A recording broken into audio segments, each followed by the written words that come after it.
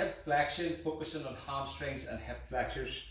So you start off with the 90 90, 90 degrees, 90 degrees at both knees. Then the leading foot, bring the foot out slightly, okay? So you want to come in in the extension, still keep a soft knee. Then from here, keep the toe pointing up.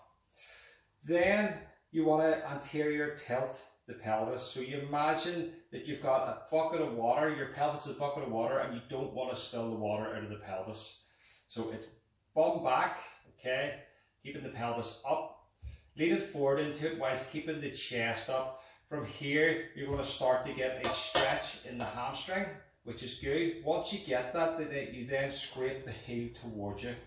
So you're bringing it towards you, keeping the chest up, driving down into the poles. That'll help you get an extra contraction in the hamstrings.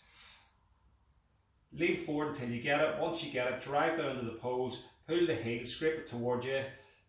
Anterior tilt the pelvis. Okay, so it's bum out, pelvis up.